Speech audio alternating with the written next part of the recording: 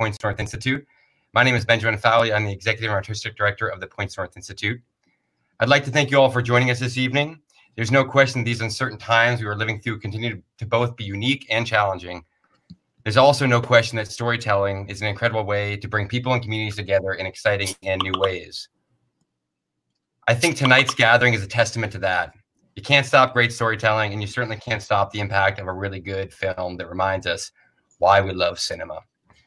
Like our friends at Newport Films, CIFF and Points North have been built on experiences. Our documentary festival has been around for 16 years, and during that time, we've screened thousands of documentary films to attendees from every corner of the world here on the coast of Maine which is where I am right now. And it's finally feeling like spring, hopefully a little bit further along in Newport, Rhode Island. Over the past several years, under our parent organization, the Points North Institute, we've developed a suite of artist programs that are discovering and nurturing the next generation of nonfiction storytellers. Each year, those programs are supporting over 65 filmmakers. Uh, it's been two months now since we transitioned to online programming. And while it's different, we're also really, really, really grateful for moments like these. Sharing work like this with audiences is a special treat. It's kind of the the moment we as curators all wait for. Uh, so we will certainly take what we can get in terms of how we can share stories with you. Uh, I want to just say one thing: the director of this film is uh, about as close to prolific as you can get working today. Uh, our special moderator for the night will formally introduce him, but I encourage you all to please dig into his extensive body of work after this conversation tonight. Uh, it'll it'll blow your mind, and we all need a little bit of that. Uh, in this quick transition into into digital, virtual, or online, whatever you'd like to, to use, what we've learned is that collaboration is everything, and it is going to be everything going forward. Now more than ever, we need to work together to build community around storytelling, and that is why we're so excited for tonight's partnership. Uh, I want to thank Andrea, I want to thank Becca, and the entire team at Newport Films, uh, who I believe share our curatorial vision and our curiosity and we are excited and look forward to sharing many more events like this throughout the summer. If you're interested in what we do at the Camden Film Fest and Points North Institute, please visit our website at pointsnorthinstitute.org. We are screening films weekly uh, and bringing kind of new podcast ideas to the forefront as well, telling stories about what's happening locally around the COVID epidemic here in Midcoast, Maine. I'd like to now introduce uh, my dear friend and colleague, Andrea van Beuren, who I rarely get to see outside of the, the snowy snowy hills of Park City. Uh, so it's a real joy to, to say hello. And uh, again, thank you so much for, for helping us put this evening together. Thank you, Ben. And uh, thanks so much to the Camden International Film Festival and also to the team at Neon. Uh, just a quick note to the Camden viewers that Newport Film is a year-round documentary screening series based in Newport, Rhode Island. Uh, we are heading into our 11th year, and we usually offer an outdoor summer program called Newport Film Outdoors. Um, that program, which usually runs from mid-June through mid-September, offers people the opportunity to picnic and watch documentaries outdoors on the lawns of many of the Gilded Age mansions owned by the Newport Preservation Society. We also screen films on the grounds of Newport Polo and in many public parks and uh, on beaches. Um, we are hoping this summer to be able to offer a few drive-in screenings, but we are really still in a holding pattern on that. Uh, but do uh, check out our program at newportfilm.com um, for details going forward. Um, so we're we're really thrilled about this collaboration. It's exciting. We have more films to come with Camden, and we Ben and I are going to work on kind of the right timing for, for each film, and that should be continuing um, through uh, August at this point. Um, so um, we are thrilled to have the director and producer of Spaceship Earth with us tonight, uh, along with one of the Biospherians uh, from the film. And here to uh, moderate the discussion uh, is Variety's own Brent Lang. Uh, Brent is the executive director of film and media, covering all the major Hollywood studios, as well as their corporate parents. Uh, Brent is a graduate of Brown University, go Rhode Island, uh, and Columbia, the Columbia University School of Journalism. Welcome, Brent. Thanks for having me. It's, it's great to be back, and I'm so happy that you guys have come up with an innovative way to continue uh, your programming in these in these really uncertain and, and terrible times. Uh, it's my great privilege to be joined tonight by uh, the filmmakers behind uh, Spaceship Earth, as well as one of the subjects. Um, we're here with Matt Wolf, uh, who is the director of Spaceship Earth. And Matt's feature documentaries include Wild Combination about the cult cellist and disco producer Arthur Russell, and Teenage about early youth culture and the birth of teenagers. And his recent film Recorder is about activist Marion Stokes, who secretly recorded television 24 hours a day for 30 years. Uh, we're also joined by Stacey Reiss. Uh, Stacey's an Emmy Award-winning filmmaker. Uh, among her uh, films, her credits uh, is The Perfection, starring Allison Williams, which premiered on Netflix in May of 2019, as well as the extraordinary documentary, The Eagle Huntress, uh, which premiered at Sundance Film Festival and was released uh, by Sony Pictures Classics. Her other credits include Tokyo Project, Suited, The Diplomat, and I Knew It Was You. And we're also joined by one of the subjects um, of this movie, one of the people, one of the biospherians who spent two years involved in, and I think what anyone who's seen this movie uh, would admit it was a really audacious experiment, and that's Mark Nelson. So it's a real thrill to have you all with us this evening.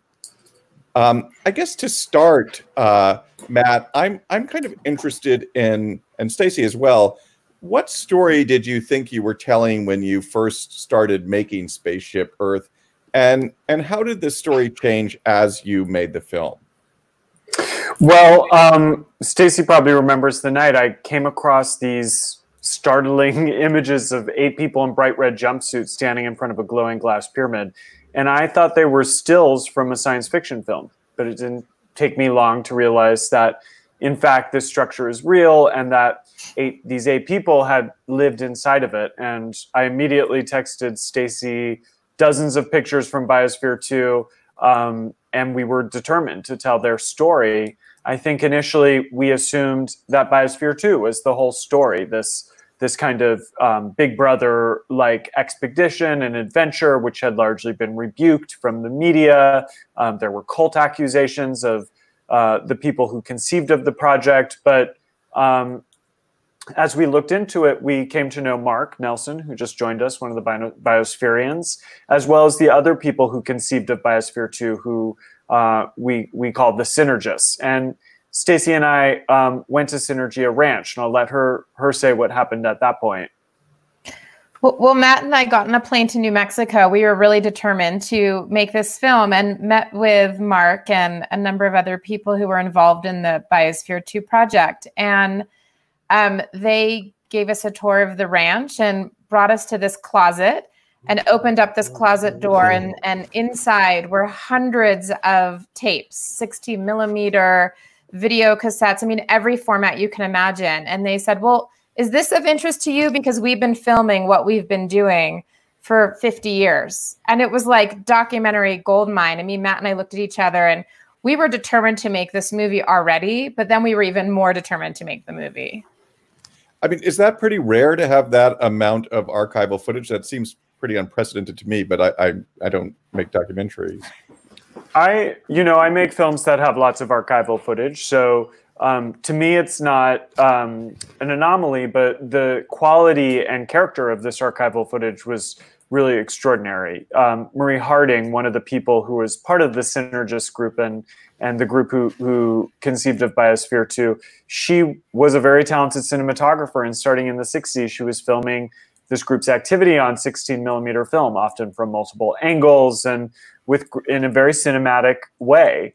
And she, um, you know, said to me that she recognized that what this group was doing and, and her community was was history, and that she wanted to capture it because she thought it would be important for the future. And so it felt like such a great opportunity and also a big responsibility to use that material.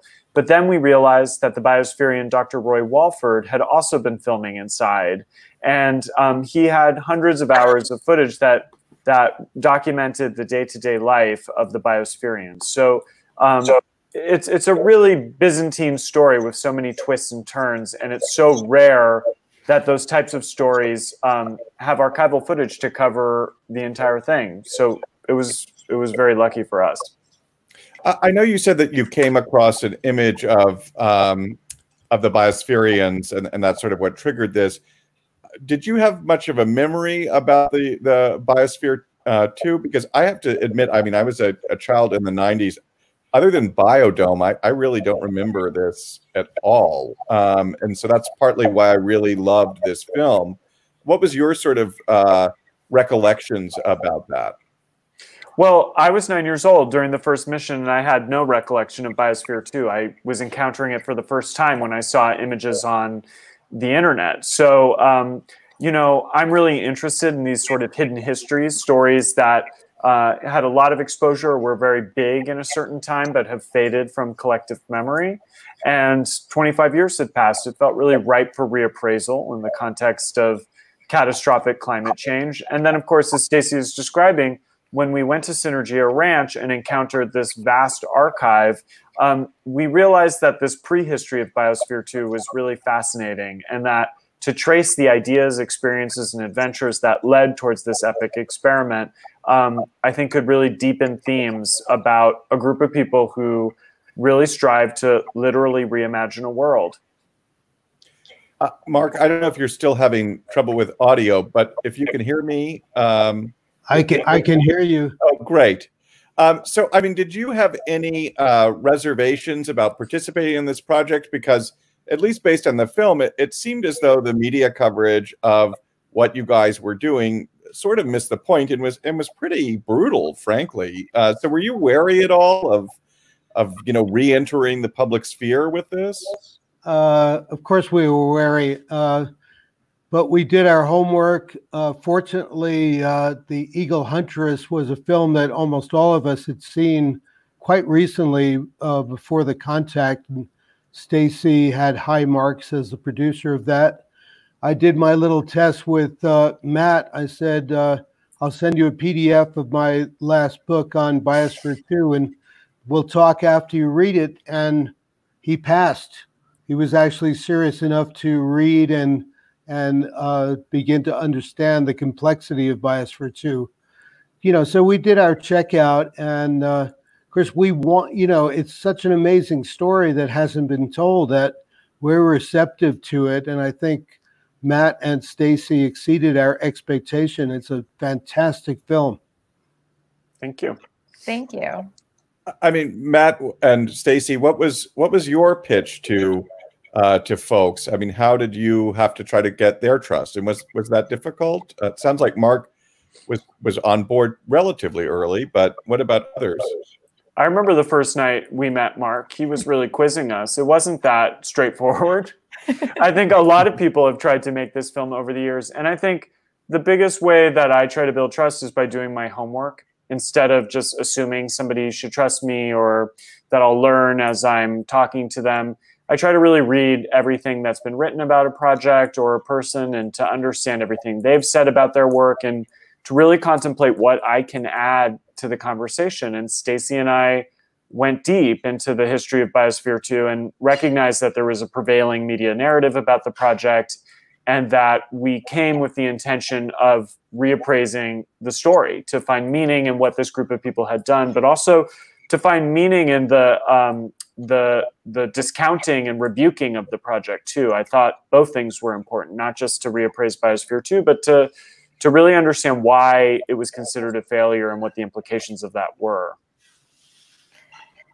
And I think for me, I mean, my background is before I was a filmmaker, I worked for NBC News and not during this time, actually. I mean, I was still in college when the Biosphere 2 project first um, started, but I was really interested in using this time, these two years that it took to make the film, and to do this deep dive into um, what this story was. And I think what often happens with news coverage is, you know, you don't have that time to really understand what the story is. So, you know, we spent a lot of time, we made many trips to New Mexico and other places, spent a lot of time with the people that were involved in the story. And that was one of the things that was really rewarding to me in terms of having the time um, to really, really do a deep dive and look back at this story that took place 25 years ago, but with a contemporary point of view.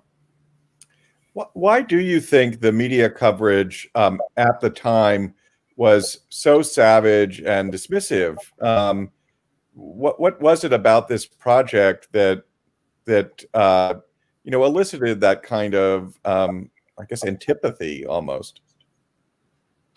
Uh, should I make a, a stab at that? Sure. Well, you know, Biosphere 2 is pretty radical. We were totally unprepared. I think the film captures that pretty well. Uh, and we weren't very savvy uh, in communicating the reality of what we were trying to do. So uh, there is also a game that, especially the American media play, is that they build a project up and then, oh, lo and behold, we can find a uh, hole in it. Uh, you know, it's not all it, it's cracked up to be. We're great investigative journalists. So we were played a bit like a yo yo. You know, the coverage was very, very over the top for two or three years. And then it kind of, uh, you know, turned on a dime. And, you know, I think we made mistakes because it, we shouldn't have let the project be trivialized to uh, a contest of whether the two years would be a success by the terms of succeeding in, in no entry and no exit. Um, we we could have done a much better job in sharing with everyone the absolute unknowns that we were stepping into because we had no expectations even the eight people who went in that we could stay in there for two years. And you know so the, the project became very trivialized. I, I think the media certainly to blame. I mean I, I remember struggling with this is not a space colony. That is not the purpose of it. This is a long-term experiment, and the the Earth laboratory is equally as important as space applications. But it was a hard story to get across for mass media because of its complexity and its subtlety. And also, I think there was a growing appetite for a kind of voyeuristic entertainment that this is before reality television really took hold. It's also before the internet. It's a story that went viral in a sense, but uh, I read a New York Times headline that when the real world launches, they said it was MTV's answer to Biosphere 2. And there's always been rumors that John de Mol, the creator of the Big Brother TV show, um, got his ideas from um, from Biosphere 2 satellite uplinks. And of course, the television show um, Survivor comes to mind, um, considering all the ecological challenges inside. But I think the public was looking at this as a human experiment. And to some extent, it was. But the word experiment is really loaded. I think it has associations with academia and governmental applications, with a hypothesis driven, small scale, reductionist science. But also, this group was interested in what one of one of the people interviewed in the film, Kathelin Gray, called a lifetime experiment. They were artists and adventurers, and they were also ecologists and scientists. And this multidisciplinary project, with all of its complex goals, I think really was redefining and reimagining what an experiment could be. And there was a lot of spectacle and also a lot of rigor, and that it's hard for the media to see all of the nuance of that. I, I certainly see the parallels with reality television. Um, I wonder. It, it seemed sort of telling to me that I, uh, this starts in 1991.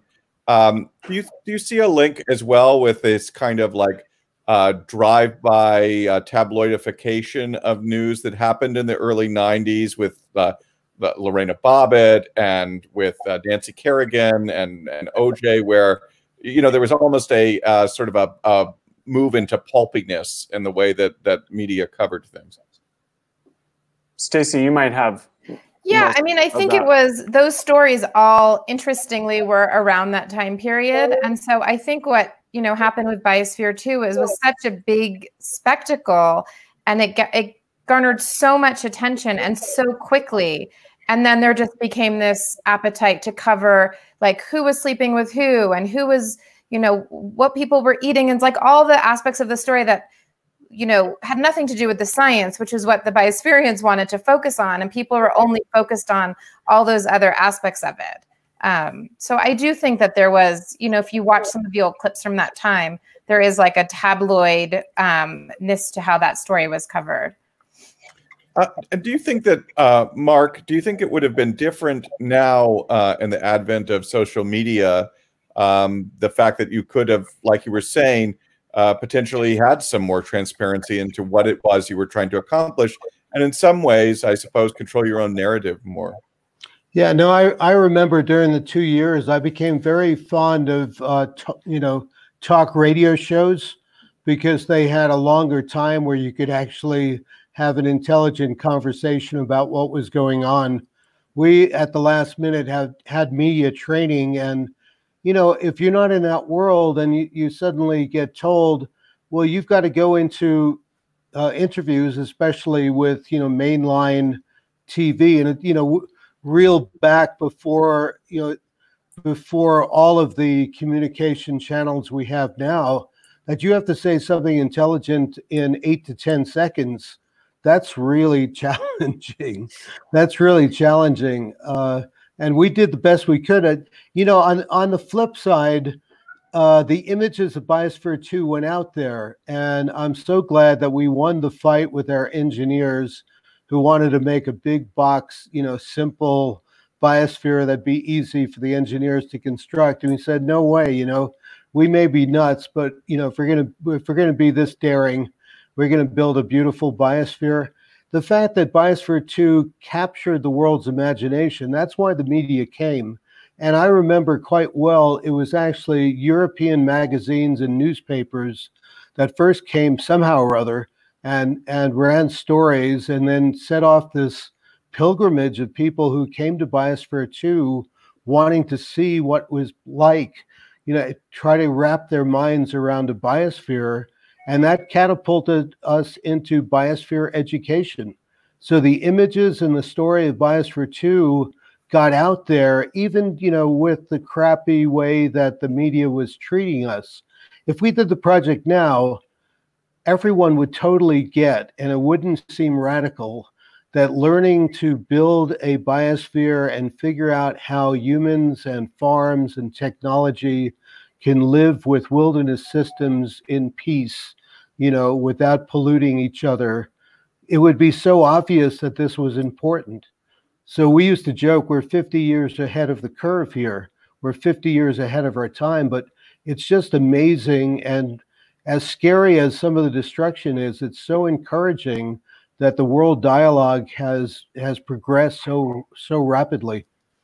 Yeah, I almost would say you're 30 years ahead uh, or something. I mean, what what is it like um, to be releasing this film about kind of the ultimate type of social isolation at a time of social isolation and, and in the midst of the coronavirus?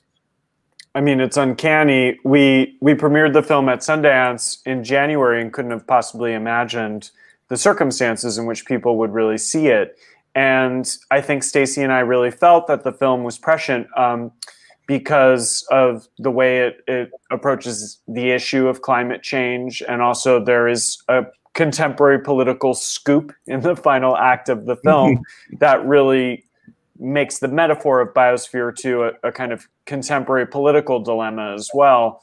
Um, but of course, now the similarities are uncanny in, in so many senses. A lot of us are living like the biospherians, you could say. And I think, um, you know, a lot of people have been asking about that. And I was really struck by what Mark said at the reentry ceremony, and I'm sure he could elaborate on it. He said, um, living in a small enclosed world changes who you are. And that idea of personal transformation, I think, is really instructive and inspiring. This idea that um, we can be transformed by the experience of quarantine that we're having now and reassess the impact we have on the outside world when quarantine ends, and that we may feel a renewed sense of accountability to each other and also appreciate the um, positive environmental effects that have come from this pause. I mean, these are these are questions that we can hope um, come to the fore as as we're in this difficult time. Mark, I wonder what what what did your experience uh, in the biosphere? How did that prepare you for? I assume you're quarantining like like the rest of us. How did that sort of prepare you for this? And have people asked you for advice about about how to get through these really strange times? Yeah, we I, I guess we have some insights into it. You know, fortunately, I'm in kind of a group isolation at uh, Ranch you know, we're 20 miles outside of town, and and when you know the the shutdown happened, we had about a dozen people, you know, starting our organic farm operations for the year. So it's not quite like we're confined into a small apartment. I, I do find it, you know, like eerily strange that Spaceship Earth should come out at a time like this. And ever being the forcing myself to be optimistic, uh, I think, you know, as, Matt was saying, I, I think it's a, a, great inflection point. It's sort of such a shock to the system to suddenly have half of America and a good part of uh, Western Europe, you know, shut down and business as usual, which is killing the planet, has now been halted shockingly. And, you know, we have a project in London, my Institute of Ecotechnics, and people there are talking about how London air is improving and skies are blue. And in Biosphere 2, we had the experience of going into a really, really healthy world where we were responsible for keeping it vibrant and healthy because our lives and our well being depended on it. We're in a different situation in the world, but you know, for just the small delay or, or slowdown of business, we're seeing that nature can respond. We're going to meet our uh, Paris CO2 uh, agreement accords worldwide for the first time because of this shock. That maybe we can rethink how we live with the earth, what we, what kind of an earth we want to share. Uh, that would be a wonderful uh, side effect of all of this. Um, I, I should have asked you before, but the film also talks about sort of the scientific community and their skepticism about what you guys were doing. Um, why do you think they were so hostile uh, to to what you were doing? What what did they sort of? I mean, did they get something wrong about what what you were trying to accomplish? Well, I don't think the scientific community was hostile we had, you know, we uh, had all kinds. Dismissive, I, I, should probably say maybe. Uh, What's that? Dismissive, maybe not hostile. No, but I, you know, there isn't a scientific community. But Biosphere 2 is controversial for a lot of reasons. And one of the reasons was that in addition to all of the detailed, you know, so-called reductionist or analytic science that had to be right in engineering, it was a holistic uh, experiment you know, we were looking at biomic areas, we were looking at a series of biomes connected at the large scale. And large scale science is uh, very underfunded. And it's kind of controversial because a lot of reductionist scientists really don't understand it. So some of our champions, uh, and by the way, there, there's a new book, a reissue of Life Under Glass, which I'm going to hold up. Which is the inside story of Biosphere 2. Three of the Biospherians, including myself, wrote it while we were inside, and now we've updated it, uh, at, you know, with a really prescient look back on why was it important? Why does it still have relevance?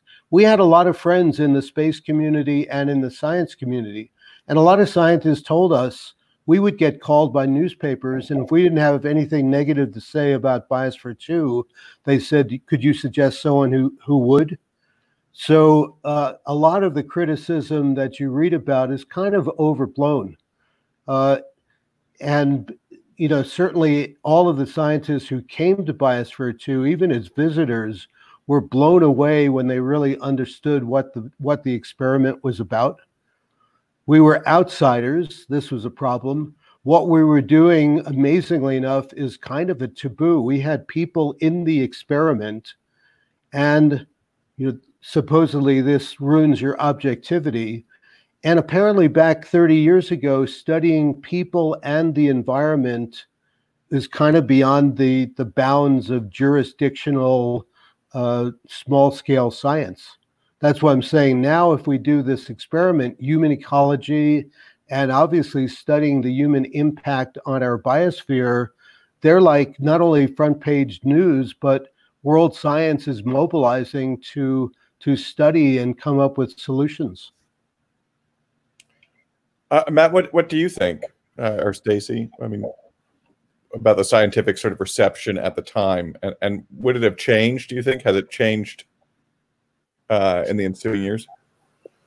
Well, less of an issue of science and it's more, I think, that this idea of a kind of gregarious personality with a group of outliers who is operating with a financier on a private venture that's futurist in nature, um, that's exploring something unknown like Mars colonization. It all sounds very familiar. Someone like Elon Musk, but this is a little bit before dot com culture. Um, the the kind of jargon that would have been used is disruptors.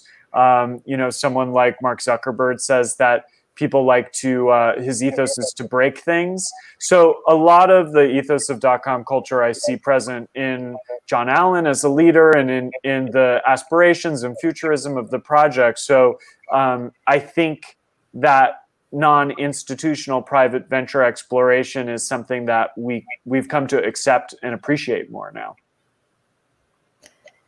Not to mention that, you know, they also were part of this theater group. And so this experimental theater combined with science, I mean, now we think of it as like a STEM or STEAM education and this interdisciplinary nature of what they were doing. But all of this was very sort of unusual for the time. Um, I assume that most of the people watching this have, have seen the film. So I, I don't really want to do a spoiler, but you have one of the sort of the great third act twists of, of any film I've seen in recent years, which is that Steve Bannon kind of emerges as a central uh, character slash antagonist. Uh, I don't even know how to uh, phrase a question around this really, but first of all, how did how did that happen? And Mark, what did you think when Steve Bannon reemerges in the political scene as this you know Trump's brain. Yeah, the Steve Bannon who uh, appeared recently is quite different than the one that uh, that we had to contend with. And I do have to say that you know that power struggle, which eventuated in the takeover of Biosphere Two, my group were you know we were not just managers, we were co-owners with uh, Ed Bass of the facility, uh, and you know we were trying to reposition it. We had made a lot of uh, progressive changes about how it was going to operate. Uh, but you know, Steve Bannon was you know much more cosmetically appealing, but ultimately, you know, he is out of Wall Street. He's a kind of a takeover expert. And the takeover that was happening uh, really polarized uh, my team inside, our team inside Biosphere 2. We would have had difficulty, you know, it was just hard to live with just seven people for two years. But when the power struggle on the outside began to reach inside and and people on both sides were were you know trying to get the biospherians aligned on one side or the other, that made things much much more difficult. And I I do think it's kind of ironic, uh, you know, in a word. Uh, here's my my soundbite. Steve Bannon destroyed one world, the small world, and now apparently he and his allies are working on destroying the the large world, the one that we all live in. Uh, and and sort of your interactions with him, did you see any of the seeds of the kind of climate denying, uh, I don't even really pseudo populist, whatever uh, philosophy that he sort of espouses now? No, I certainly didn't. Uh, but I didn't have that much. You know, I I think the first time I met him physically was after we came out. There was a series of VIPs, including Stanley Buchthal, who's a long-term friend and one of the producers of, this, of these films.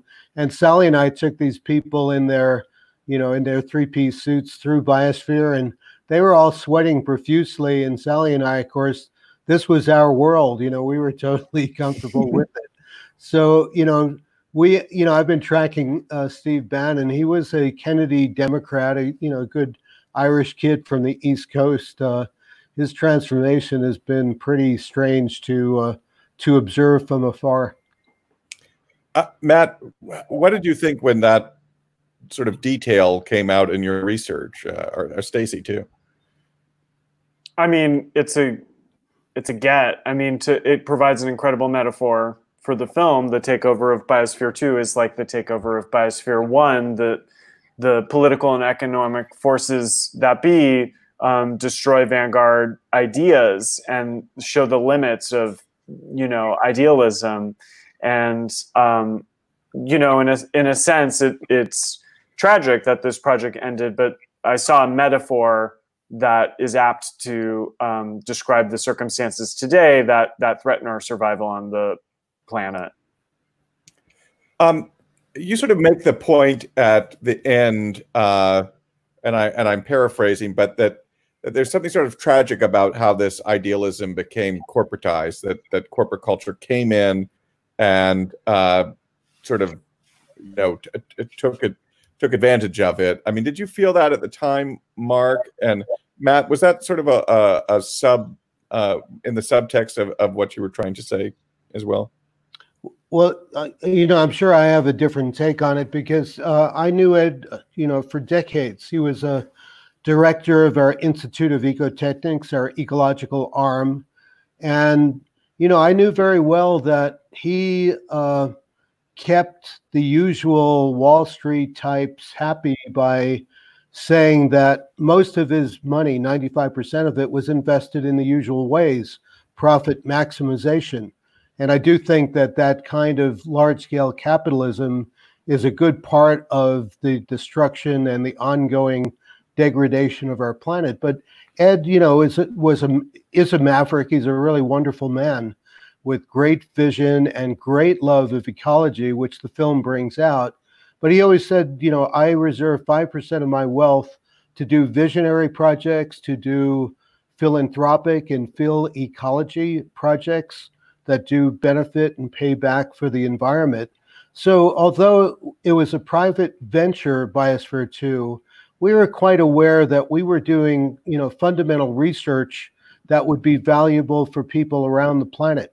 It was a private venture with a lot of public benefits uh, inherent. Of course, we wanted Biosphere 2 to make back the investment. We thought that would happen by selling biospheres to LA, London, Tokyo, Euro Disney, etc., and by spin-off technologies.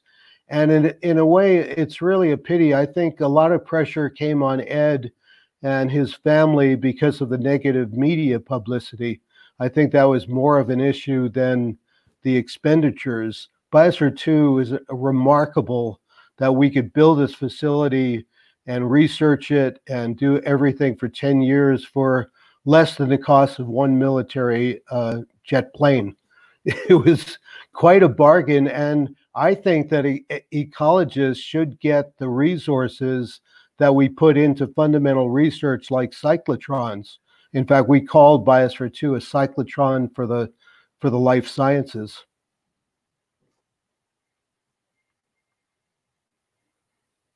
We're starting to get some uh, questions about uh, from from from our viewers. Um, one of them is uh, why were there three acres under the dome? What was what was the uh, the the reason for that, uh, and why so many people in such a small environment? Um, this is from Mary Van Buren, uh, and she asks: Was there a was there an effort to uh, was there a conscious decision to limit hard science details in the film? So three. There, cer- there certainly wasn't a conscious effort to limit anything, but it's not a miniseries. It's a, it's actually a two-hour film. So we had to really focus what what we were doing in the storytelling and a lot of it was about trying to understand the intentions and ambitions behind the project to understand biosphere 2 both as a practical science experiment and as a metaphor but also to really chart the the saga of biosphere 2 in the media and and to find meaning in its downfall so we wanted people to understand um, what the method of the science was, what the intentions of it were, and to understand the constraints that Mark and the other biospherians lived under. But there's all sorts of other interesting stuff. Uh, we were at the Smithsonian today talking about microbes and how they affected the atmosphere. Um, you know, there's the whole food chain supply and how that affected the thousands of plants and species that were brought inside. So there's all sorts of really fascinating details that we could have gone into, but we had to make tough choices. And I think I always feel like in a documentary, if if it leaves people with more questions um, it's something to chew on, both in terms of ideas, but it also is an opportunity to to dive in, to dig deeper. And I think um, it allows people to continue that exploration, and that's part of what interests me about filmmaking. Should I say something about the three acres? You know, in fact, it's kind of funny. I'm I'm now reminded when we were launching and having preliminary meetings with scientists and engineers to say, is it even doable to, to think about making a mini biosphere that would be materially closed and energetically and informationally open? Our first conception would it was that it would be maybe a 15 to 30 minute, million dollar project and it would cover the size of a tennis court. Uh, but then we learned that, for example, plastic doesn't is not airtight. Co- even concrete isn't airtight. And as we began developing uh, the project with the idea that we would have not a model of planet Earth, but a biospheric laboratory, then it was really essential that we had a series of wilderness areas. And the challenge for the ecologists were to make something that would have the feel and function of a rainforest on half an acre. You know, can you do a living coral reef in an ocean that's only 40 feet long? So, you know, rather than uh, being surprised that it was three acres, to me, what was just astonishing was what brilliant engineers and world class ecologists, are our, our extended team who who made and researched Biosphere 2, what they could pack into one tiny, I think it's about the size of two football fields, you know, and we had such a range of wilderness areas, a beautiful farm and living habitat. And then we raised the ceilings because when you start to look at uh, life, and you know you're thinking about a hundred year experiment how tall can you get trees to grow?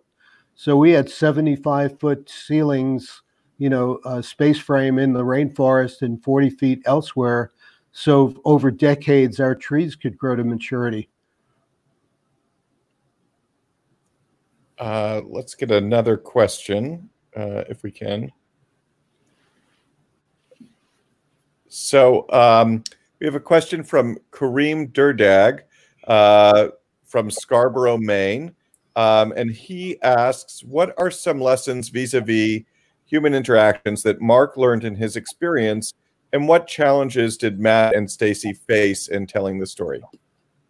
Stacey, do you want to talk about the challenges? Yeah, sure. Why don't I talk about some of the challenges and then Mark can talk about his lessons learned. I mean, we touched on some of them. I mean, one of the challenges, as in making any documentary film, is gaining the trust of the people that we want to make the film about. And, you know, given that what had happened in this story and how much time had gone by, obviously, you know, we it took us some time to gain their trust and, and give us access. One of the other huge challenges is there was 600 hours of material which we needed to distill down into you know a under two hour film. And that material that we talked about earlier wasn't organized in any way. And so you know we hired a team of people to go and really organize all this archival material and create this like dewey decimal type library system before we could even really start making the film. We needed to understand what there was and what those assets were and how we would be able to view them. So that was you know an enormous challenge in in making the film. Anything else you want to add, Matt? No, I think that those were those the are the challenges. big challenges.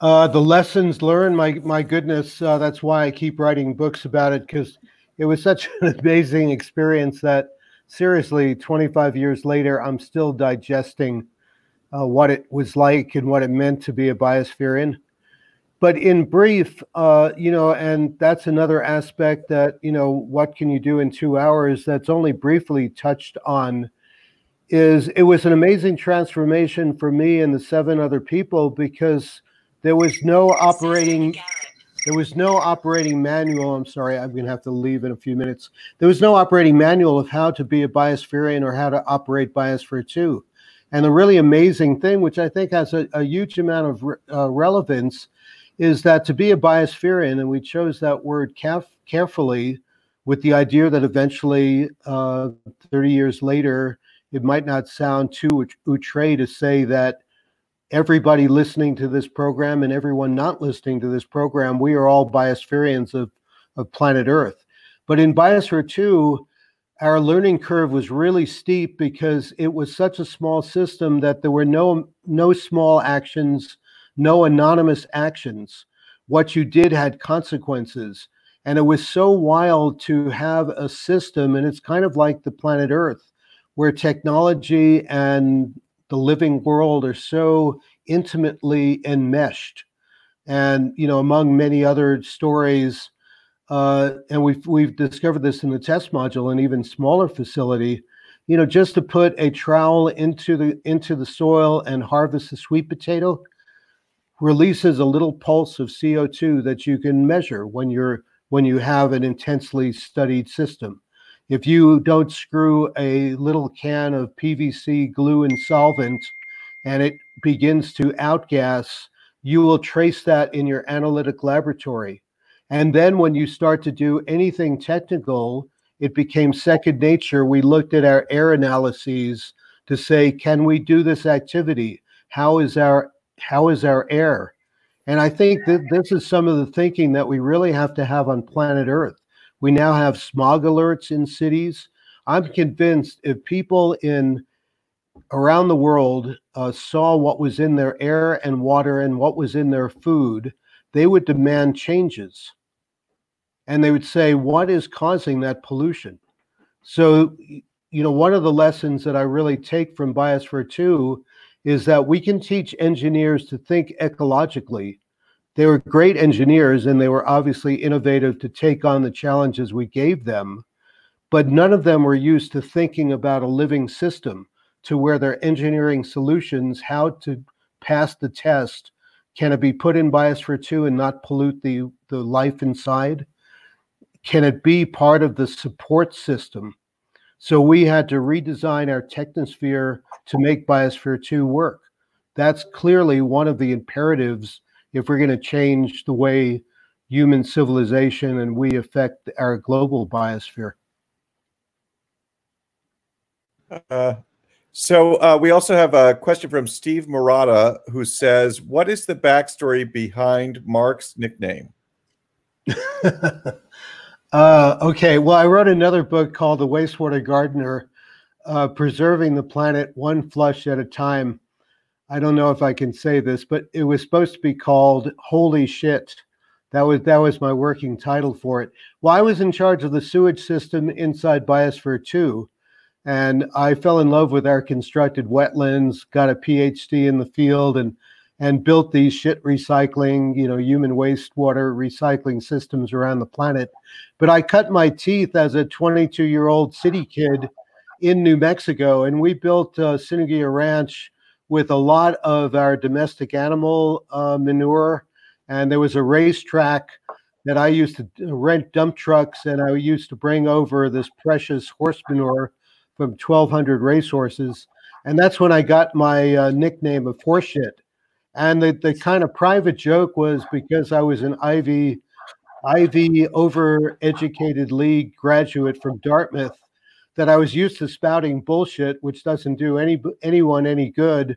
But I was actually turning the the horse manure into compost and planting fruit trees and doing some good. So for me, from bullshit to horseshit was a, a major step upward. Uh, let's see if there are some other questions. Uh, from Owen Robbins, uh, what has happened to John Allen? John Allen just celebrated his 91st uh, birthday here at Synergia Ranch. He is much beloved. So, you know, like this call, we had a Zoom call with about 50 or 60 uh, friends around the planet, you know, wishing him well and and all, all like that. He, he's doing great. Uh, he's enjoying his his 90s. He's he he can be sharp as attack. tack. He, his his lucidity, you know, varies. He has some challenges with short-term memory, but you know, he's a beautiful old man. And I, I'm so thankful also, Matt and Stacey, that you made this film while John is still with us to see his legacy on the big screen.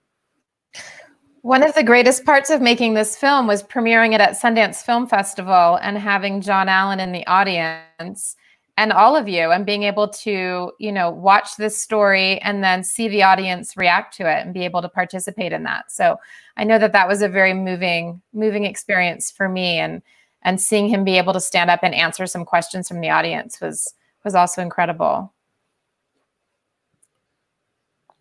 Um, you sort of answered this, but uh, Marcia Brown asked, "What are your feelings about Steve Bannon?" I don't want to talk anymore about Steve Bannon because there's so many more interesting things to talk about. is my is my feeling about it. He, you know, he his work and his legacy. It depends, I guess, on where you stand politically. But Biosphere Two is, you know, way more than that coda I don't see Biosphere 2 as a tragedy in a way because we were able to have this creative project for you know well on nine years do the most advanced closed ecological system that i go to space conferences and other scientific conferences and you know people in the field still take their hats off you know to biosphere 2 so we were able to accomplish an amazing amazing amount of uh, work and the legacy and the importance of Biosphere 2, I think, only grows. And unfortunately, I have uh, to leave this wonderful uh, conversation and you wonderful people and do some other things right now. Well, I, I think on that note, I want to thank you, Mark and Matt and Stacey, for for having this uh, conversation with us and uh, for the wonderful film and and for all you've done. Thank you so much for having us. Yeah, thank you. Okay, thanks. I didn't mean to, to stop the entire conversation, but anyway. There's no conversation without you, Mark. You're the star. okay. so much. Okay, adios, amigos.